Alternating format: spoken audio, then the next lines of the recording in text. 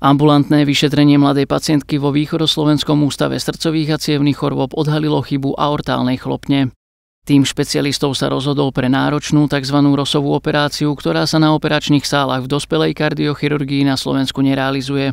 Operace je to velmi komplexní a spočívá v tom, že my použijeme eh, vlastní chlopeň plicnice, což je chlopeň nad pravou komorou a transplantujeme ji nebo autotransplantujeme ji do pozice aortální chlopně nad levou komorou, která je nějakým způsobem zničená nebo uh, degenerovaná. Práve tá rozsová operácia, keď je dobre vykonaná, e, tak sa priblíži i e, kvalita i kvantita života sa takmer priblíži k strednej dĺžke života normálnej zdravej populácie.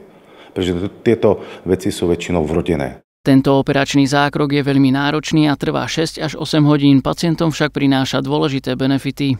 Ten pacient bezprostředně po operaci funguje, jakmile se zhojí rány, jako by zdravý pacient. Nemusí brát řek, léky na takzvané ředění krve, které snižují srážlivost krevní, nemusí chodit na pravidelné kontroly, kvikovat času nebo srážlivosti krevní, tak jak se to dělává u těch mechanických chlopní, čili může žít normálním životem. Pacientky sa darí dobre, bola prepustená pred dvomi týždňami, pred týždňom bola na kontrole. E, všetky chlopne fungujú.